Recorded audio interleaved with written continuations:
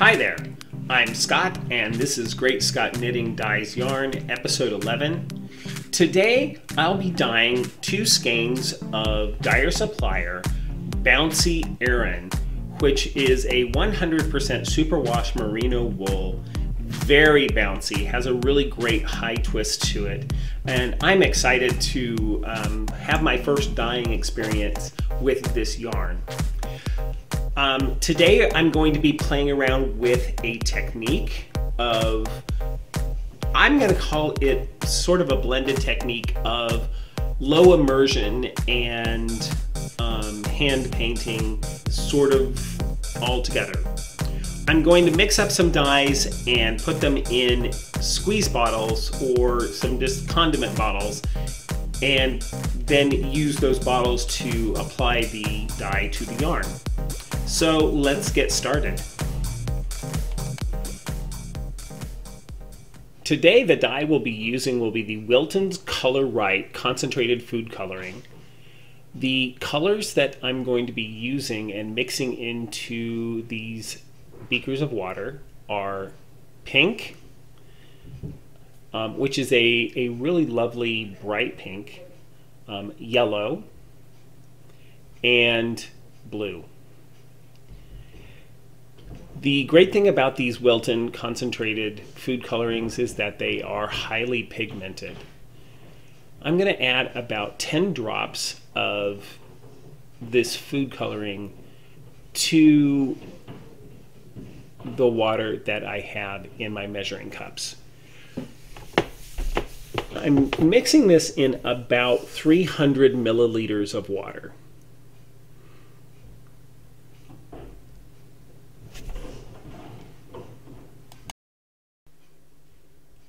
I like to test the color that I have created or how dark that color is by using a little paper towel and dipping it into the dye. This gives me a general sense of how that color will behave. I'm now going to transfer this dye from the measuring cups into my plastic condiment squeeze bottles. And then I'll be ready to apply the dye to the yarn.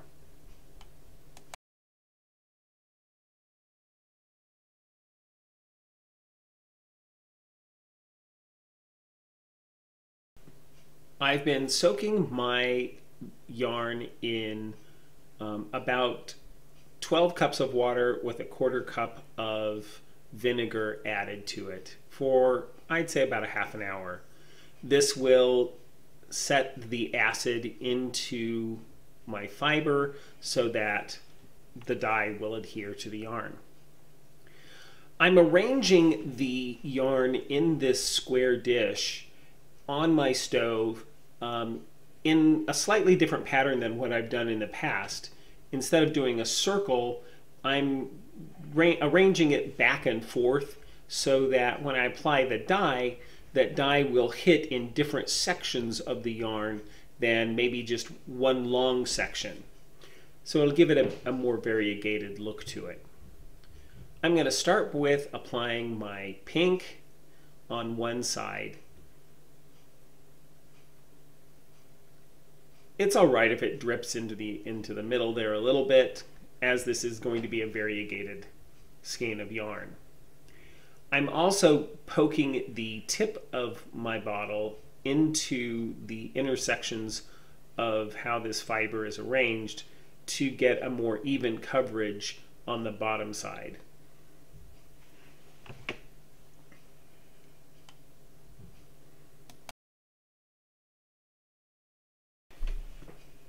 I'm now going to add blue to the opposite side of this skein of yarn, starting on the outside and then bring it over a little bit so that there's a good section. Again, I'm going to push the tip of the bottle deep into the fibers to get a more even coverage. I am doing this on the stove and I have turned on the heat so that as I'm adding liquid to this yarn, um, and it will start to heat and set that color into the fiber. That'll also help keep the dye from moving around too much. And then I'm going to place the yellow on the middle. My expectation is to minimize the amount of mixing, but I do expect to see some oranges and some greens result. And in fact, there's a little bit of that green starting to happen on the blue side as it spreads and reaches the, the blue section.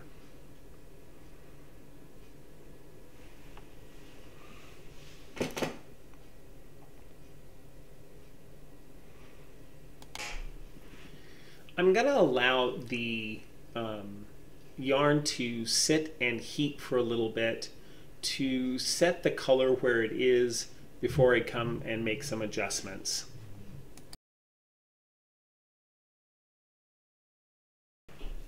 As you can see, there's some seam starting to form. So I'm going to go ahead and adjust and add a little bit more pink. And a little bit more yellow to kind of bring that over and get rid of some of that uh, yarn that is yet undyed. And again, poking it into the middle for a bit more um, penetration and allowing that, that yellow and pink to, to join together a little bit to create a little bit of an orange section there. And then I'll let it go ahead and set this color. It's been about 20 minutes and um, I'm going to now flip my yarn over and get some additional coverage on this flip side. Now, the yarn is really hot, so it's kind of um, a little bit challenging to handle. That's why I have the tongs. But I'm going to try to arrange it so that the underside of the yarn is now on top and I can um, get some good coverage. So I'm just going to finish arranging it so that those lighter sections um, I'll have some better access to. And then I'm going to come in with my dye squeeze bottles and add color to this side. One thing I will need to be careful of is now that there is some liquid in my pan, the possibility of the dye spreading and moving around a bit more is greater. So I do need to be aware of that and be a bit careful as I'm applying more liquid to my skein of yarn.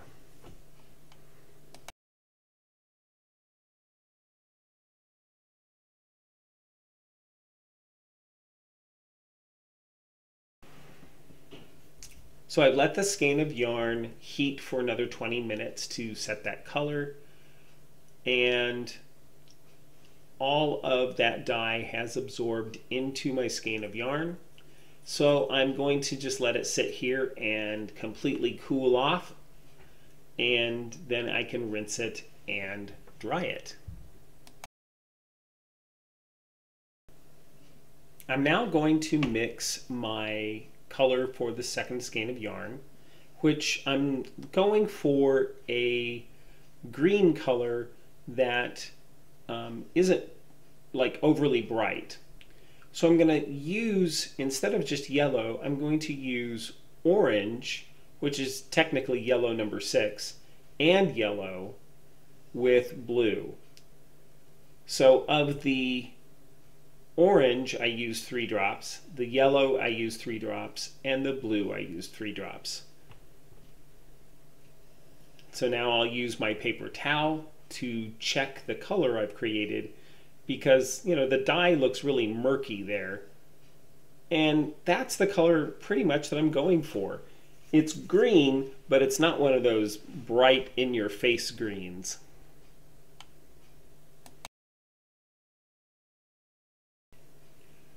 So in my dye bath, I have about um, six cups of water and two tablespoons of vinegar. And to that, I've added my dye. And so it is already hot at a, just right at, at a simmer. So now I'm going to get my yarn, which has been soaking in a vinegar water bath. I wrung out a lot of the water and I'm going to give the skein just a slight loose twist. Not to give it a lot of resist but I do want this to be very tonal. So with the added amount of vinegar for acid um, the hot dye bath and the slight twist there should be a good tonality, so it should strike some areas darker and others lighter. I'll let this sit for about 20 minutes and we'll come back and check it.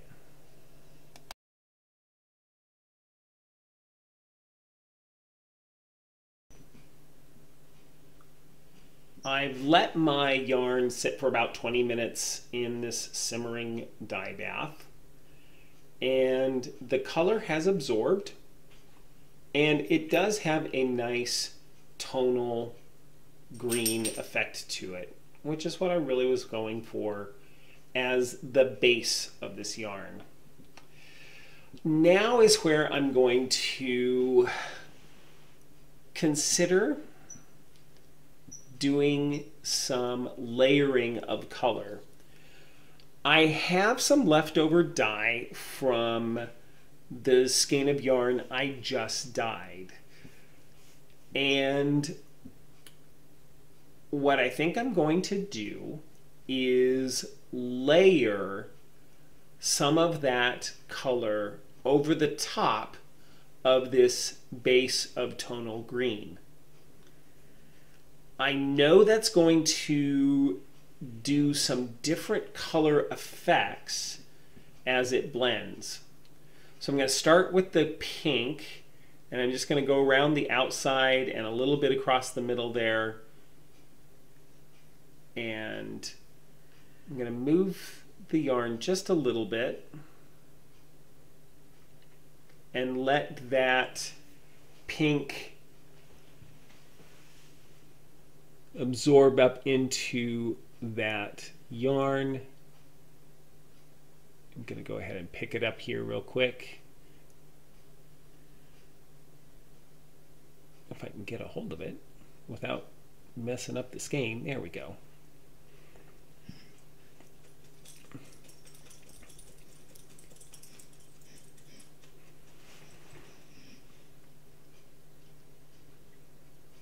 And now I'm going to come in with my leftover yellow.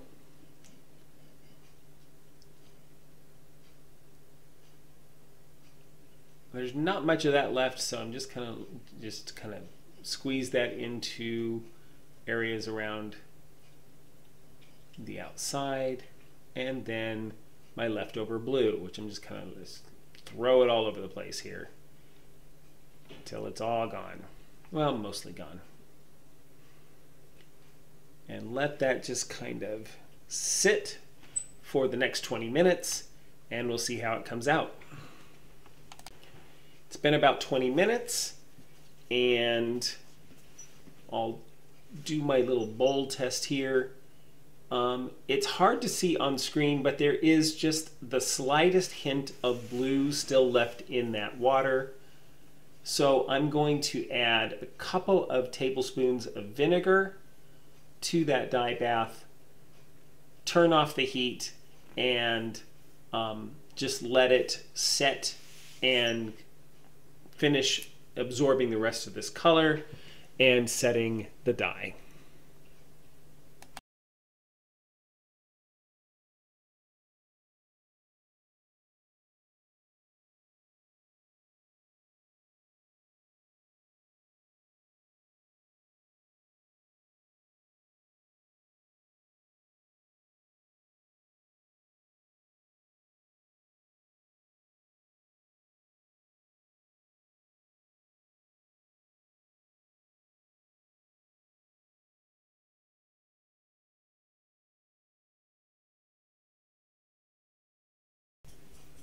Skein number one is cool and ready to be rinsed, and it really does look lovely. I have my soak water here that has um, is basically a vinegar water bath. So um, because reds and pinks tend to bleed a little bit, I'm just going to do a quick dunk into my soak water to add that little bit of vinegar to help stave off any potential bleeding that may have occurred.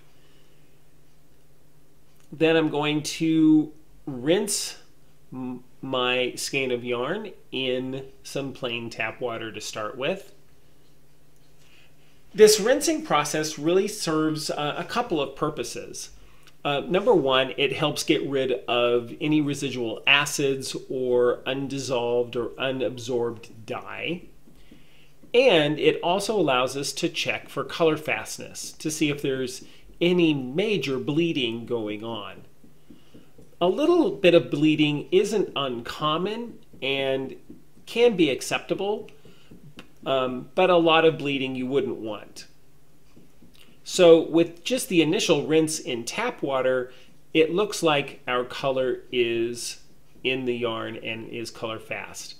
So now I'm adding a little bit of clear dish soap to see if any bleeding occurs. And this will also help rinse out um, any additional vinegars that and color that may not be absorbed. Oftentimes, the addition of soap will cause bleeding to occur. But I would say this looks like there's not much, if any, color coming out of the yarn. So I feel very confident. Um, all I need to do now is finish rinsing the yarn probably a couple more times just number one to get the soap out and um, to uh, just make sure everything is good and clean. Then I'll set it out. Um, I'll wring out as much water as possible, probably using a towel, and then hang it to dry.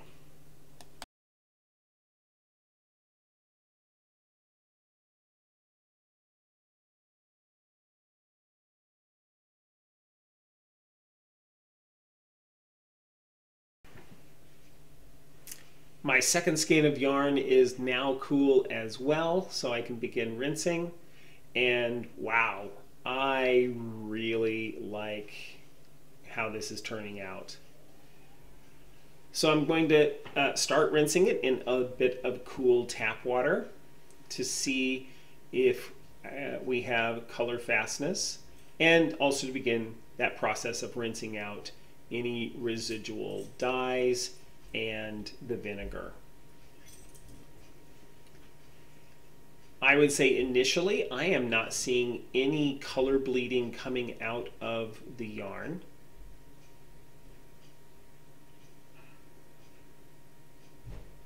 Which that's really good. I'm very pleased.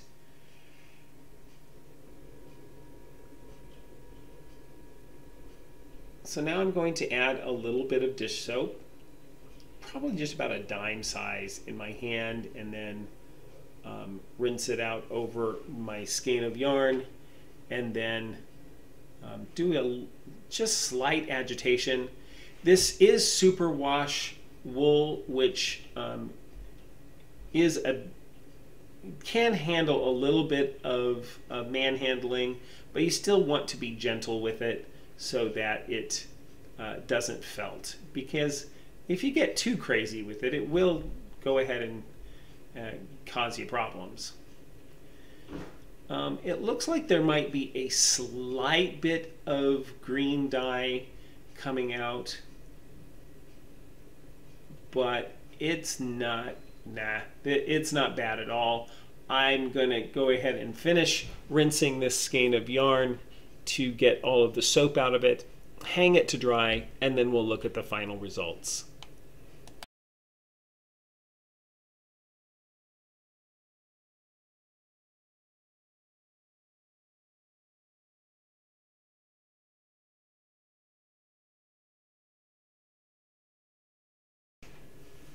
my skeins of yarn are now dry and wow, these are really pretty. With this first skein of yarn, I love how the way the yarn was laid out created a different type of dye pattern on the yarn. I love how the yellows are broken up around the skein of yarn and there are different sections of the blue and the pink that break all of it up.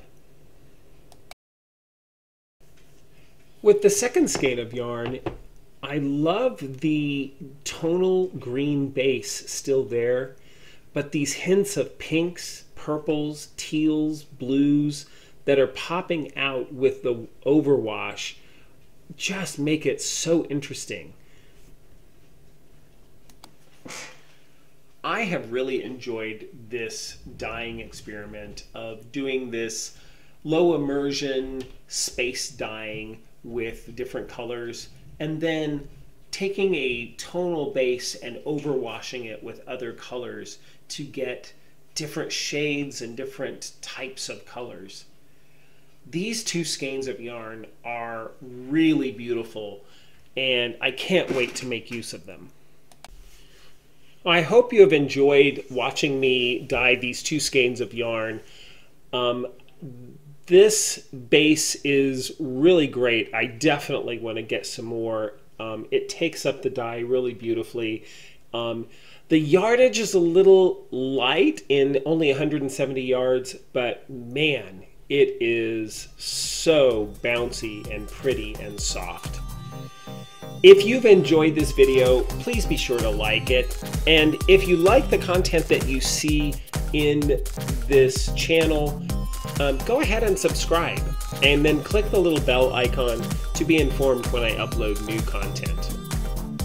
Thank you for watching, and hey, go dye some yarn.